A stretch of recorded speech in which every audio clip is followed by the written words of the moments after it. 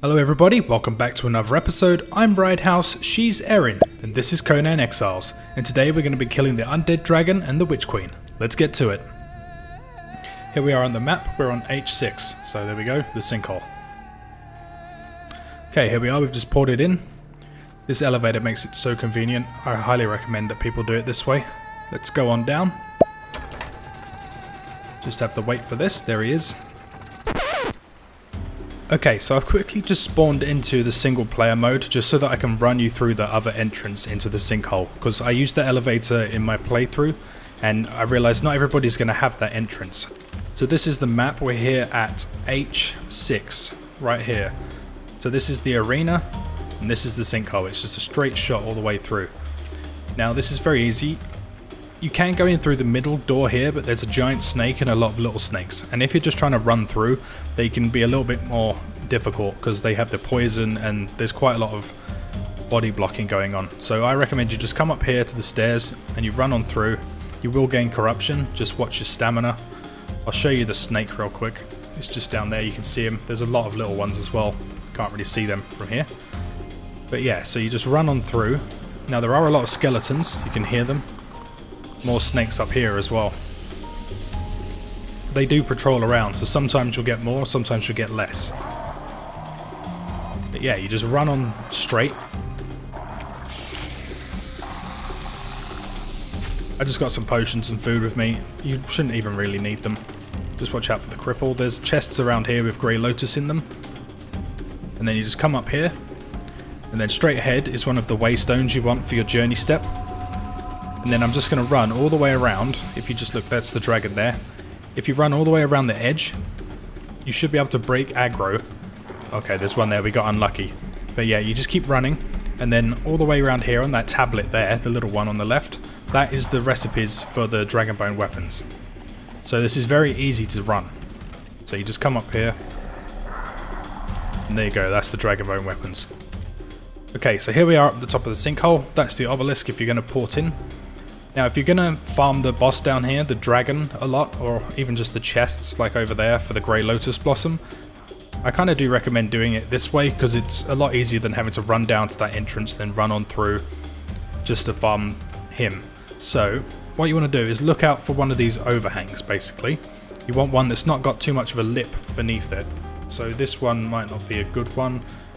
I kind of, I usually see it built here, I got this idea from another guy on the server I play on, so this is not my original idea.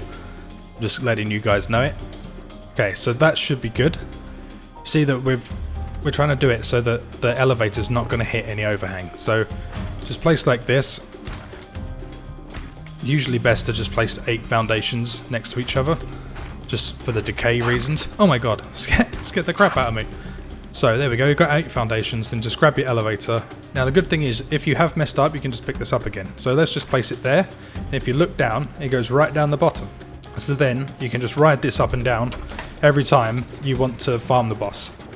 So let's head on back to our multiplayer playthrough and carry on. I just wanted to show you guys this, just so that it was covered for anybody that was kind of using this as a guide. But yeah, let's carry on, let's kill this guy. Okay, let's do this.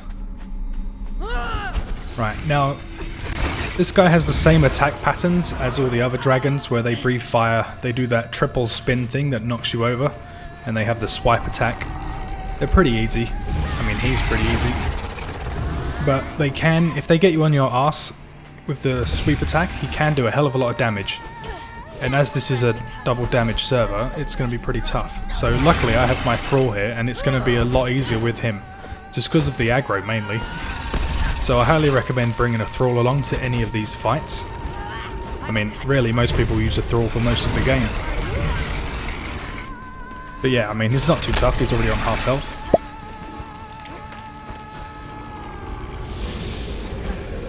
Come around here, get him in the back, just keep him sundered, lower that armour, just let the Thrall do most of the work, really.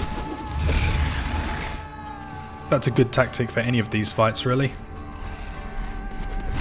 I mean, I'm using a hammer. You can use any a spear or anything, two-hander. The uh, just take note that two-handers can damage friendlies as well as the foes, so...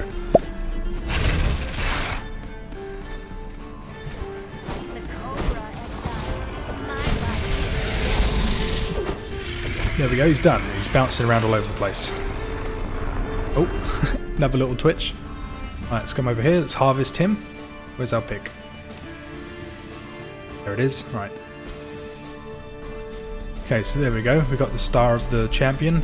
We got all the bone, dragon bone, demon blood.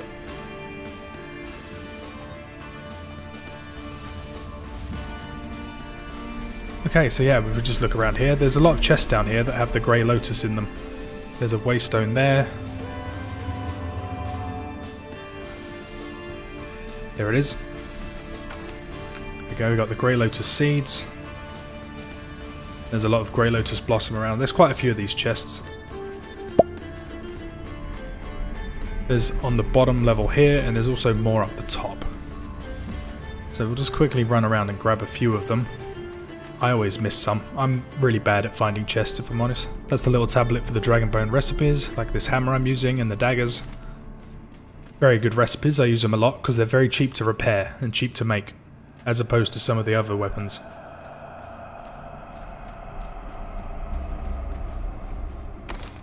Okay, yeah, we don't really need any of this, I guess I can take that just for the hell of it. Have a chest on the other side. Uh, yeah, just eat that, I guess. Don't really need the rest of it. Okay, let's head up. No more around here.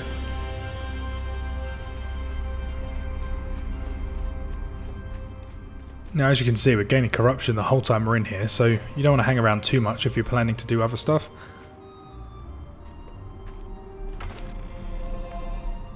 There you go, yeah, so just keep looking for the chests.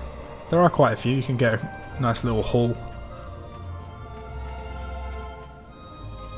Another waystone there. Yeah, so after this we're going to go clear our corruption and then we'll head off to the Witch Queen.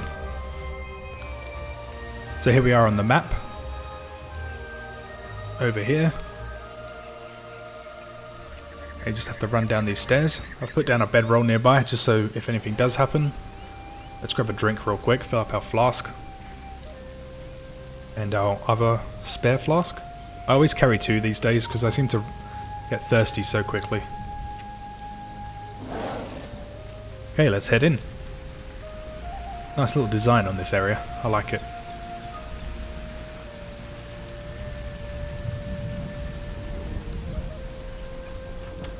There we go, just unlocked it. Palace of the Witch Queen. That's our journey step done. Now we just need to kill her.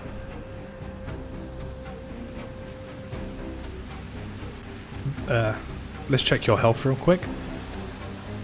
Okay, yeah, so let's go kill her. Now this fight has a little bit more mechanics to it than most of the others. Most of them are just damage sponges.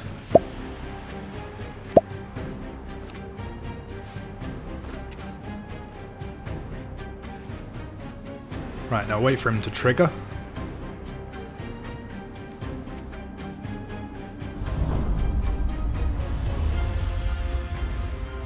There we go. Now this guy is going to fight first. These two statues both come alive. So they're not too tough. General knockdown, kind of giant type attacks.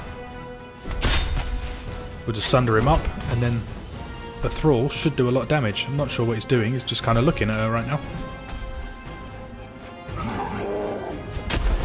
There's the knockdown. See, they don't hit too hard, and this is a double damage server, so you should be just fine. There we go, one down already.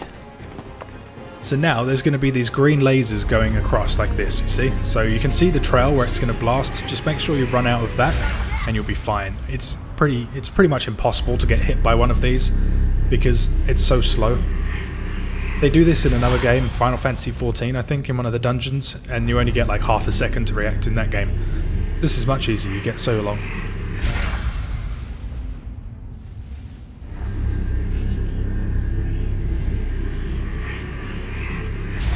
So now we just wait for this guy to come alive.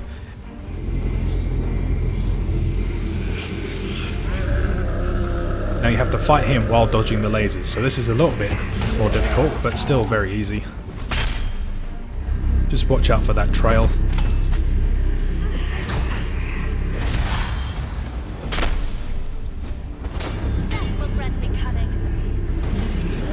Now we can't just run up and kill the Witch Queen because there's that protective barrier. That's why we have to kill these guys first. But now that he's dead, number two down. See, they're really not too difficult at all. Now this barrier will go and she will teleport down here.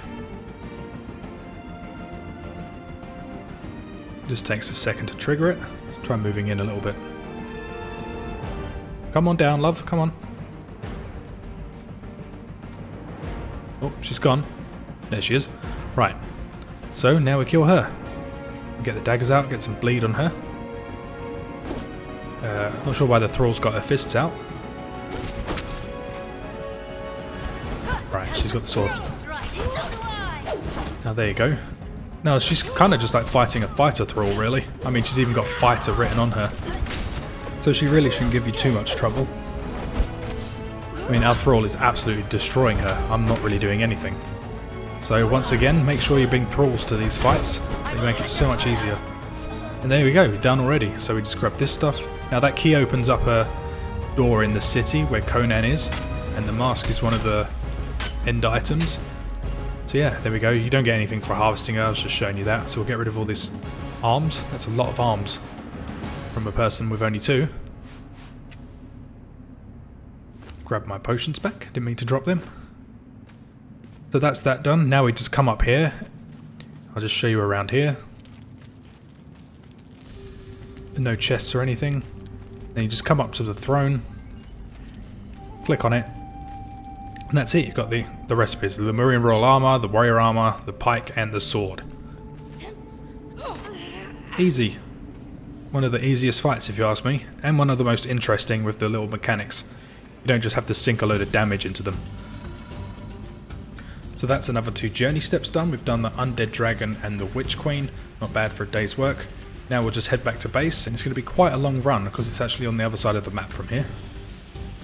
Okay, well that's enough for one episode. If you enjoyed the video, don't forget to hit the like button, and if you want to see more from me and Aerin, make sure you subscribe. Hopefully I'll see you in the next one. Until then, happy gaming. See you, Aerin.